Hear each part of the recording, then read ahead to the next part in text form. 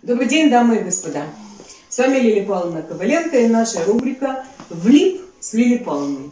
Я вам обещала приглашать и беседовать с самыми интересными и успешными людьми пока Одессы. Пока. А дальше жизнь покажет. Сегодня у меня в гостях, мне самой интересно, право же интересно. Я даже в восторге от того, что заполучила такого гостя. Поверьте, с трудом заполучила.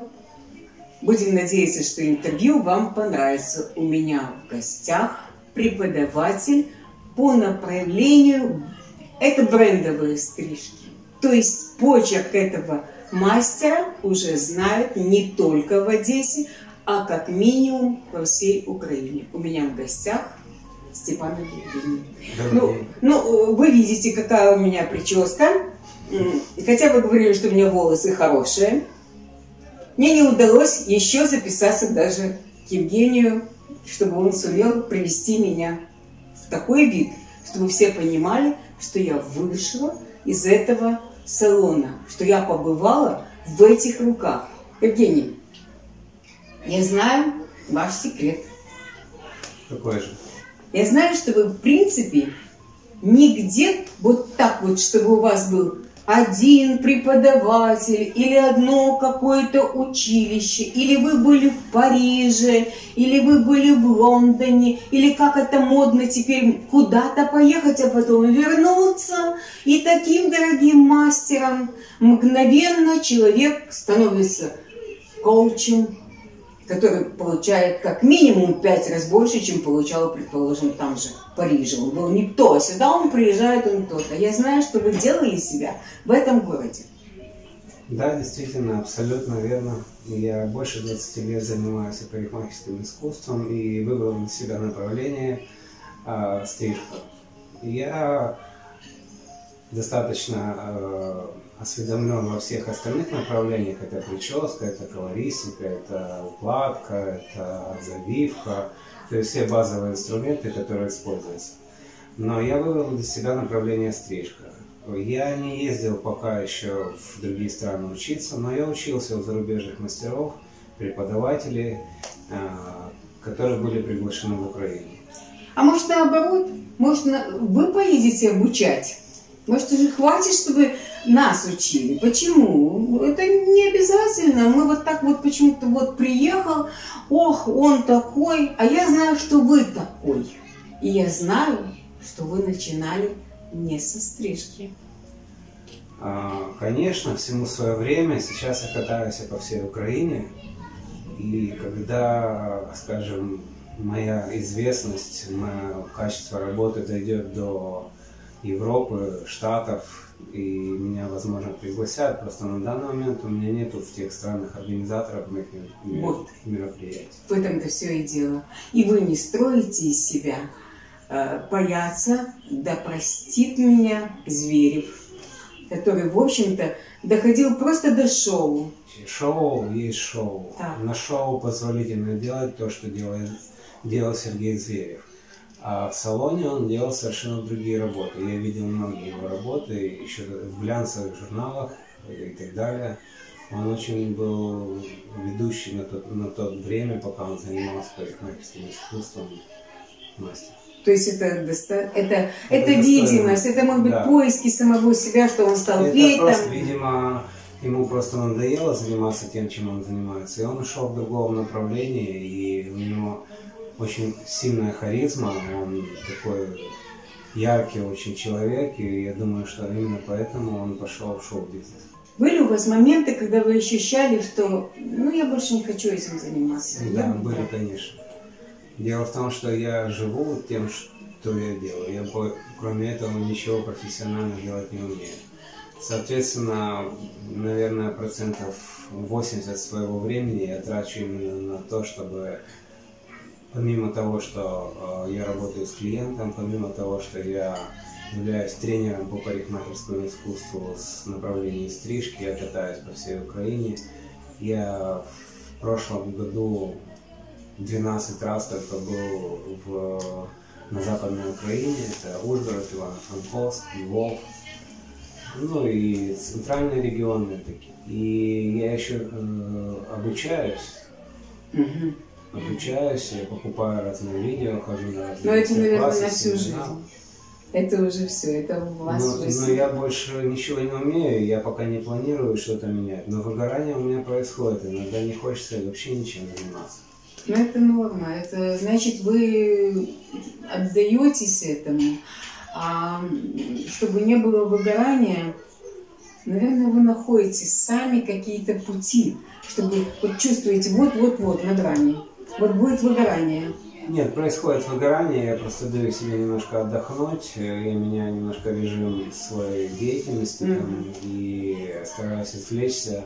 Но если к вам приходит дама, девушка, девочка, бабушка, вы мгновенно ощущаете, что надо. То есть вот это творческое начало, вы, наверное, рисуете. Но э, вообще-то у меня немножко другой подход, я не ощущаю, я не прозреваю, я э, смотрю на человека. У меня есть такая поэтапная работа. Во-первых, я выслушиваю нашего клиента. Во-вторых, э, я прошу, я прошу, чтобы мне показали какую-то фотографию или ряд каких-то фотографий, чтобы клиент ну, рассказал, что ему нравится. Потому что самая большая проблема между мастером-парикмахером и клиентом – это недопонимание. У клиента свой мир, а у мастера-парикмахера свой мир. У меня не бывает такого прозрения, да, просто я вижу, например, я знаю, как работают те или иные линии, те или иные какие-то там пропорции там и так далее. Я смотрю на человека, я определяю материал, волос это материал, и работаю с этим материалом так, чтобы он выдержал то, что мы построим. Потому что любая стрижка это э, геометрия. Она может быть целостная, может быть комбинированная, в зависимости от того, какие э, потребности. То есть вы где-то так вот прикидываете, вот даже фотографии, стиль, манеры, вы, как вы правильно очень сказали, даже жесты. Да, Даже конечно. жесты. Вот если человек любит так вот поправлять волосы, вы уже дадите ему эту возможность. Пусть он поправляет, пусть у него будет эта прядочка. То есть вот это вот то, что делает вас неповторимым, незаменимым. Я понимаю, что мастеров много, но почему-то вы востребованы. И что еще мне нравится, когда я слушаю ваши лекции, я вижу, как девочки, мальчики, как завороженные пишут, они записывают, зарисовывают за вами. Где вот тот вот секрет? Вот что вы такое даете, что не дают Ну, другие? Никаких секретов нет. Я стараюсь, э, как говорят сейчас очень модное слово, меньше лить воды, говорить по существу. Да. Это существо приходит только с опытом. То есть у меня есть определенный опыт жизненный а, в этой профессии, и я понимаю, что есть какие-то пустые фразы и есть какие-то наполненные смыслом, и они работают. Суть заключается в том, что никаких, невозможно, э, скажем, дать какой-то рецепт на все сто процентов жизни. Я могу просто показать и рассказать, как это работает. Человек, который начинает работать в этом деле, он начинает сам приобретать опыт. Просто опыт может быть полезным и опыт может быть бесполезным. Ну, Потому что э, есть, допустим, время, можно 20 лет работать и работать э, без определенного образования. А, Любая стрижка, опять же таки, так же самое, как и а, любой, любой шедевр там, на полотне там, искусства, можно просчитать, когда ты знаешь, как это работает. А творчество уже начинается тогда, когда вы, как ну, мастер, не обязательно мастер, творчество называется, начинается тогда, когда вы уже этим оперируете с легкостью на уровне инстинкта. Ну, вот, наверное, так. Потому что существует, там, допустим, музыка, да? Да. Есть семь нот. Любые произведения искусства, которые вы слышите, Да, они все соста- На базе. составлены на базе семи нот. У вас есть свои ноты. У вас есть свои Скажем ноты. так. Семь, сколько, не знаю. Есть базовые какие-то стрижки, наверное, да? Есть, э, да. Дело в том, что э, я не могу сказать, что я знаю все. потому что э, нет предела совершенства. Более того, э, парикмахерское искусство э, на самом деле приходит к искусству только тогда, когда ты уже вот, ну, имеешь правильное фундаментальное образование. Я имею правильное фундаментальное образование, и я постоянно работаю. Но... А где его получать в Украине? Правильное фундаментальное образование. Вот это, наверное, важно. Куда пойти? Но есть такой мастер, как вы. Да, можно пойти записаться к вам на курс. Но их немного, и как их искать? Ну, те люди, которые ищут, они всегда найдут. Я не хочу рекламировать какие-либо бренды Понятно, на сегодняшний да. день в парикмахерской мире. Я знаю основных лидеров, которые есть сегодня на рынке Украины, которые предоставляют качественное образование, в том числе и э, мои авторские курсы, которые раскрывают э, в людях всю фундаментальную суть для того, чтобы человек мог работать и качественно У работать. вас только из Украины? Э, Нет, Или люди приезжают? и из Германии, из Молдавии, из То есть России. это мы не Да. ограничиваемся этим полем, Нет, да? абсолютно нет. Вот. Дело в том, что парикмахерское искусство – это ремесло. А ремесло требует постоянной практики. Этот вид деятельности в Украине сейчас престижный или надо уезжать? Что делают очень многие? Уезжают. Наша профессия э, приносит гораздо больше денег э, на просторах СНГ, чем э, в Европе. Вот у нас э, культ красоты. Каждая женщина, выходя за хлебом, какую-то причесочку, какой- какой-то маникюрчик там и тому подобное. Мусор Это выбрасывает в полном Да, порядке. стараются одеться покрасивее и тому подобное, по мере своих финансовых возможностей, да.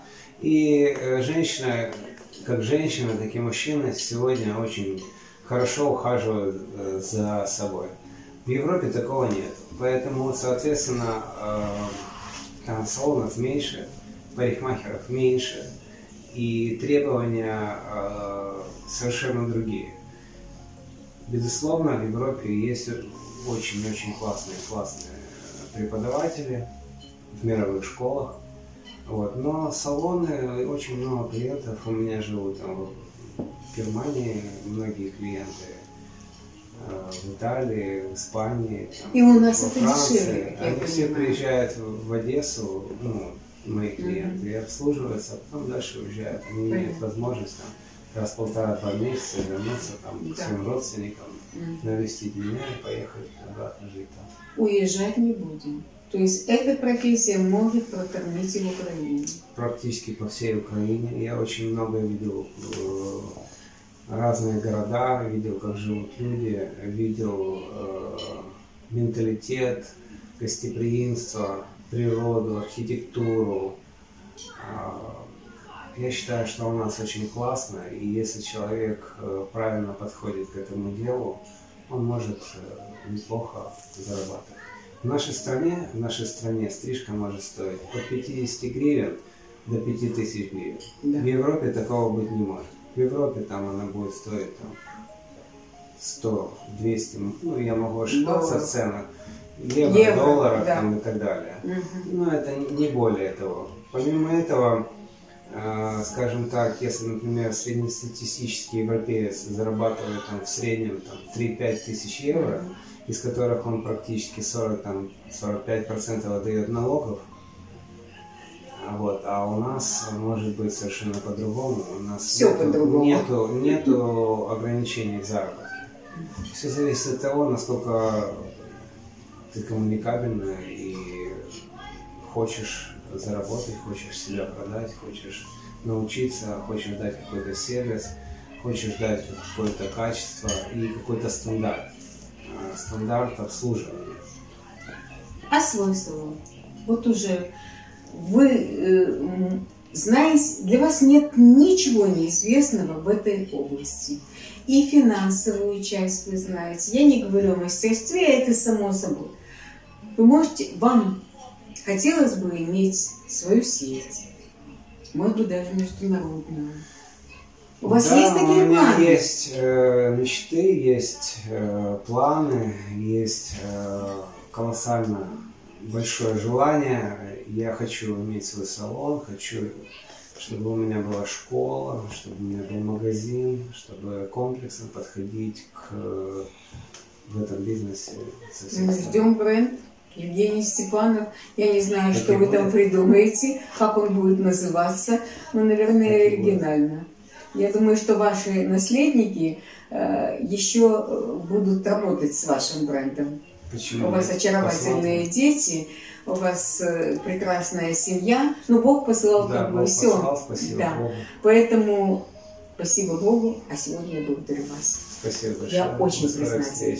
Очень. Я понимаю, на что вы намекаете. Да, да. Этим рукам я доверяю. Спасибо, что были с нами. Спасибо. До свидания.